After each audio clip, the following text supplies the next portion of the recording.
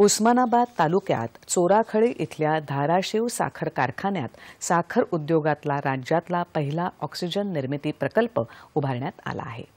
धाराशिव साखर कारखान्यात इथेनॉल निर्मितीसाठी उभारलेल्या यंत्रसामुग्रीत बदल करून हवेतला नायट्रोजन वेगळा करून शुद्ध ऑक्सिजन निर्मिती करण्याची यंत्रणा इथे कार्यान्वित करण्यात आली आहे. या ऑक्सिजन निर्मिती प्रकल्पाच्या सर्व चाचण्या पूर्ण झाल्या असून रुग्णांची गरज भागवण्यासाठी एक दोन दिवसात ऑक्सिजन पुरवठा सुरू होणार आहे.